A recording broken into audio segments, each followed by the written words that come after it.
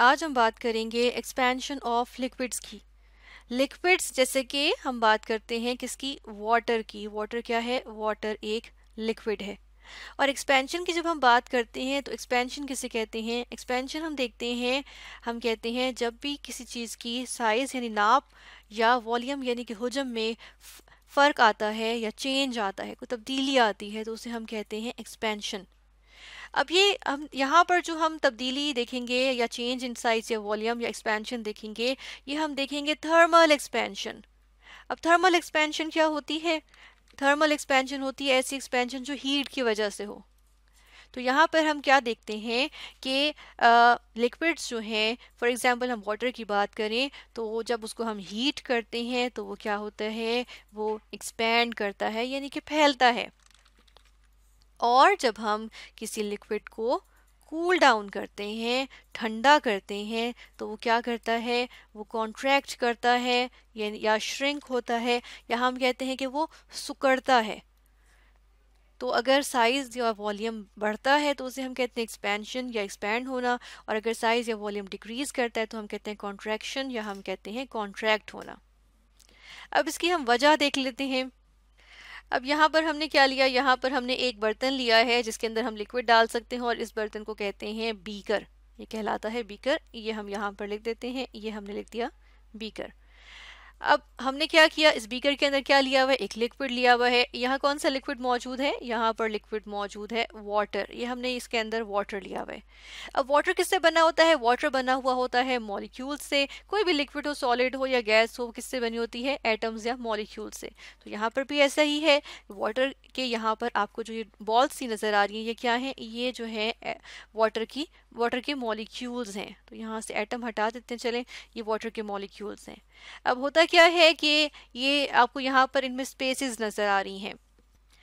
तो पानी के जो मॉलिक्यूल्स होते हैं, उनके दरमियान में थोड़ी थोड़ी स्पेसेस होती हैं। इतनी स्पेसेस होती हैं कि वो मूव कर लें। इसे यहाँ मूव करेगा। अब ये रैंडम मूव करें। कहीं भी किसी भी डायरेक्शन में, कोई ख़ास डायरेक्शन में ये मूव नहीं कर। रहे कि कोई भी किसी भी रैंडम डायरेक्शन में ये मूव कर। रहे हैं ये यहाँ मूव करेगा, फिर उसके बाद ये बेशक यहाँ मूव कर जाए। एक दूसरे से टकराते भी हैं इस दौरान। जो इसकी वॉल है बीकर की, इससे भी टकराएँगे।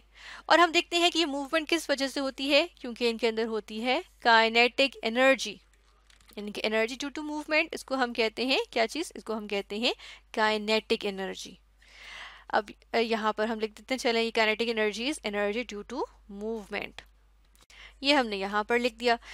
अच्छा इसके बाद हम देखते हैं कि इसके, इनके अंदर कोई ख़ास काइनेटिक एनर्जी मौजूद है, इन मॉलिक्यूल्स के पास मौजूद है, जिसकी वजह से ये मूव कर। रहे हैं उसके बाद हमने क्या किया कि हमने जो है वो यहाँ से इसको हीट करना स्टार्ट कर दिया। हमने यहाँ से इस बीकर को हीट किया तो डेफिनेटली इसका पानी जो है वो क्या हुआ? हीट होना शुरू हो गया। जब इसका पानी हीट होना शुरू इसका हॉट होना शुरू हो गया तो हम देख रहे हैं कि ये क्या चीज़ थी जो हम यहाँ से दे रहे हैं? हम इसको जो है वो हीट दे रहे हैं।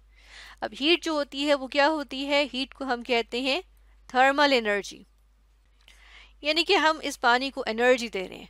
एनर्जी मिलेगी इसको तो इसका मतलब है ये, इनकी जो मूवमेंट है वो तेज़ हो जाएगी। ये जो आपके पास यहाँ पे वाटर के मॉलिक्यूल्स मौजूद थे, अब ये ज़ोर ज़ोर से टकराएँगे यहाँ पर। ज़्यादा जो तेज़ी से टकराएँगे। हम देख रहे हैं ये ज़्यादा तेज़ी से टकरा रहे हैं। या बेहतर बात ये होगी, हम कहें कि ये ज़ोर ज़ोर से जो है ये मूव करना शुरू करेंगे। तेज़ी तेज़ी से मूव करना शुरू कर देंगे। ज़्यादा तेज़ी से अब ये हरकत कर रहे हैं। और हरकत की क़ुवत को क्या कहते हैं? काइनेटिक एनर्जी तो हमें यहाँ क्या पता चला? काइनेटिक एनर्जी जो है वो इंक्रीज कर गई है। किस टाइम जब हम दे रहे हैं इसको क्या चीज़? जब हम इसको जो है वो हीट दे रहे हैं। या हम इसको हीट को कह सकते हैं कि हम इसको हॉटनेस दे रहे हैं।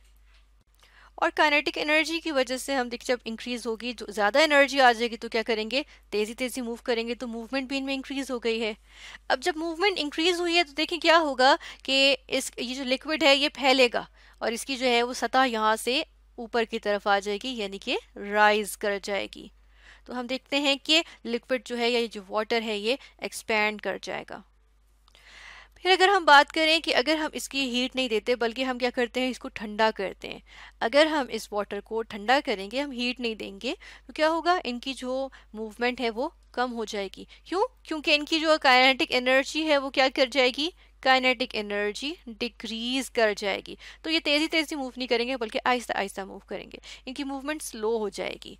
यानी कि मूवमेंट भी क्या हो रही है? मूवमेंट डिक्रीज कर रही है। और उसकी वजह से हम क्या कहते हैं कि जो लिक्विड है अब इसकी जो ये पहले राइज किया था अब ये राइज नहीं करेगा बल्कि इसकी सतह जो है वो नीचे आ जाएगी। और इसका मतलब क्या होगा? इससे हमें पता चलेगा कि जो लिक्विड है वो या जो वाटर है वो कॉन्ट्रैक्ट कर गया है।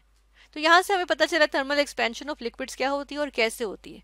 लेकिन अब यहाँ पर एक, एक हम यहाँ पे एक्टिविटी परफॉर्म करते हैं और उससे ये चीज़ प्रूव भी हो जाएगी।